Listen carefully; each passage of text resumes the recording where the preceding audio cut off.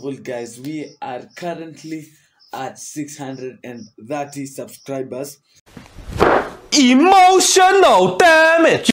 We are heading to that 1k. So, if you want to help me hit that 1k subscriber mark, then be sure to demolish that subscribe button if you have just been a viewer and haven't subscribed to the channel. So, uh, yes, I do listen. So, I listen to you guys um you've been complaining a lot. You've been like fortune you keep creating this awesome. They're great but they're in php so could you at least do something in javascript or um, a framework? So i'm going to be working on a, a framework version. So i'm probably going to use react in the video that i'm going to make.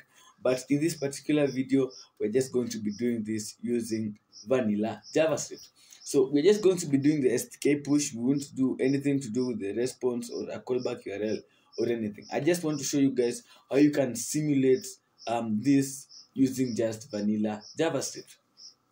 So let's go through this demo directly. So if I hit on this, buy for Kenya shillings 200 on this particular products page, I get an STK push on my device which of course if I enter the pin uh, that particular amount gets deducted.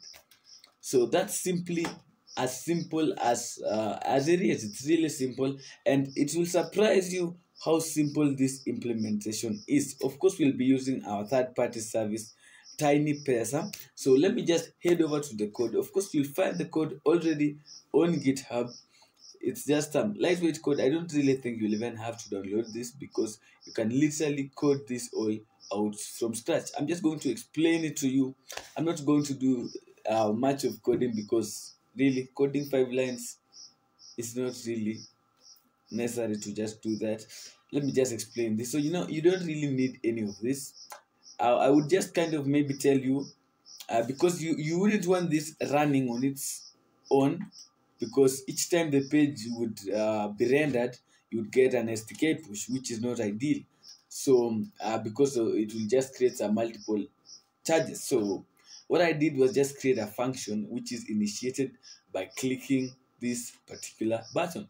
So basically what we want to focus on is definitely this particular part.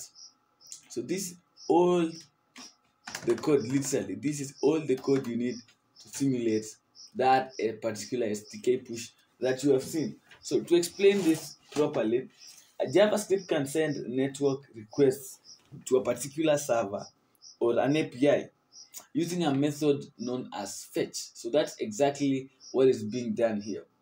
And what fetch takes in is it takes in two things. It takes in a URL um, and then options.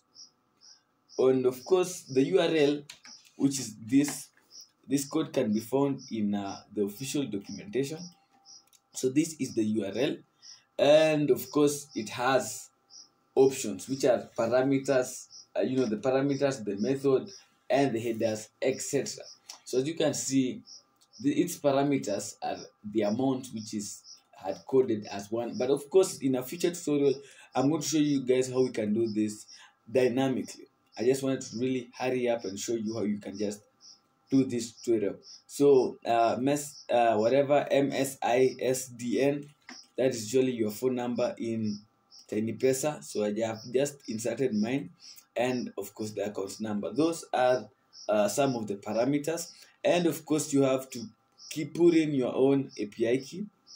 Um, I, you, you also have to just go and change this and insert your own API key. And of course, the method is post.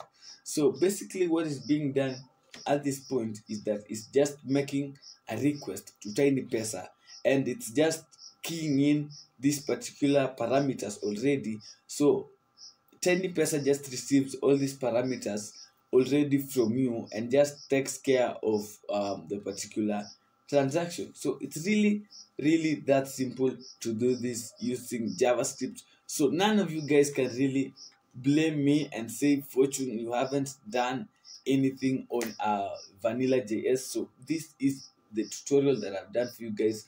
Uh, if you want anything at all, or you have an idea of what you'd like to be created next, then head over directly down to the comment section and let me know that's it for this tutorial um very psyched very excited hope we get 1k soon uh so i'll see you guys in the next tutorial